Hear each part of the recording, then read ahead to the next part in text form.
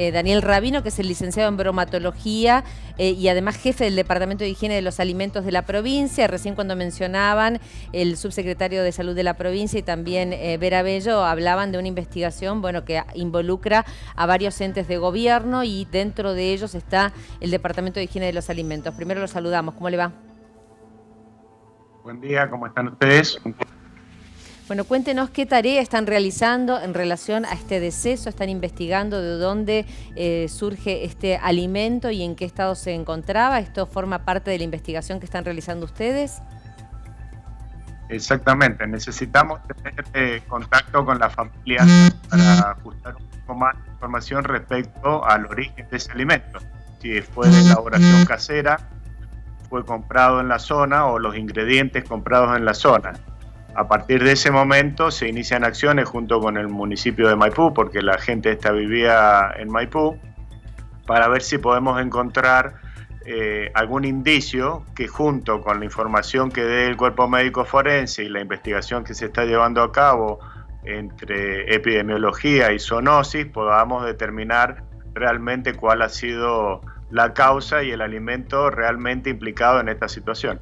Vamos a hablar de una manera hipotética, hasta tanto se sepa un poco más, pero digamos, ¿la intoxicación con carne eh, puede ser posible que se llegue, digamos, a este, de, a este final, al deceso? Cualquier intoxicación alimentaria puede terminar eh, de la peor manera en función de cuál ha sido el microorganismo involucrado o si hay algún agente químico involucrado. Eh, aventurarse ahora y decir cuál es o qué podría haber sido es un poco osado, pero sí cualquier alimento que esté con un microorganismo peligroso, patógeno o sus toxinas, o que esté contaminado químicamente, voluntaria o involuntariamente, puede causar eh, la muerte de una persona.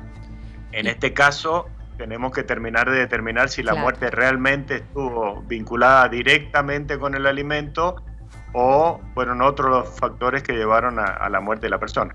Claro, lo que hace presuponer en esta primera parte de la investigación que puede ser los alimentos es el relato de la familia y además el hecho de que los eh, perros y los gatos de la familia hayan consumido esos alimentos y hayan muerto.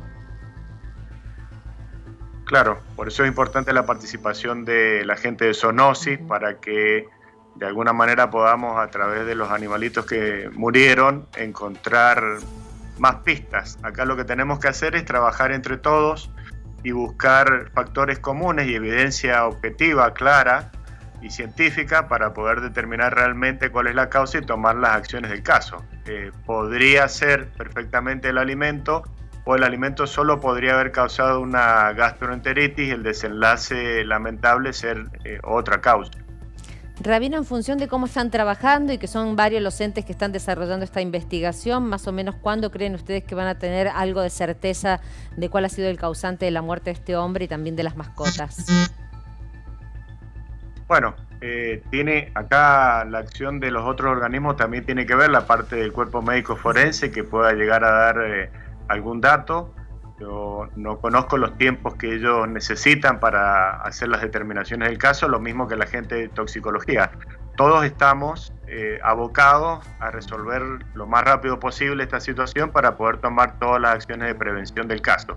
De todas maneras, si ustedes me permiten, aprovecho porque estamos en una situación de mucho calor y tenemos que tener eh, cuidado en la elaboración de alimentos, sobre todo dejarlos expuestos al calor por un tiempo no adecuado. ¿Qué ocurre cuando un alimento queda fuera de la heladera y ante estas altas temperaturas? ¿Qué ocurre con ese alimento?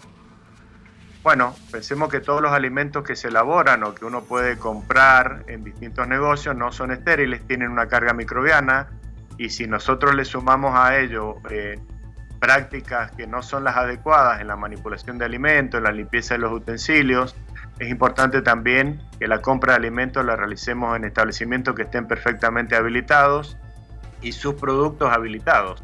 De esta manera tenemos un margen a favor nuestro que es que estos alimentos han sido controlados. La compra de alimentos en lugares no habilitados o alimentos no habilitados es de alto riesgo y ahí nos tenemos que plantear si tiene sentido llevar a nuestros hogares un alimento que realmente puede ser de riesgo porque proviene de la informalidad.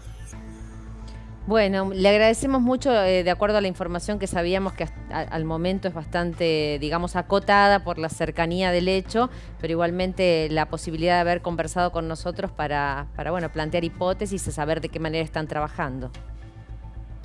Sí, bueno, yo le agradezco a usted la comunicación. Eh, realmente es importante estar bien informados y estar atentos a lo que está pasando para tomar las acciones correspondientes como consumidores, ¿no es cierto? Seguro que sí. Muchísimas gracias, Daniel Rabino. Gracias a usted. Hasta luego.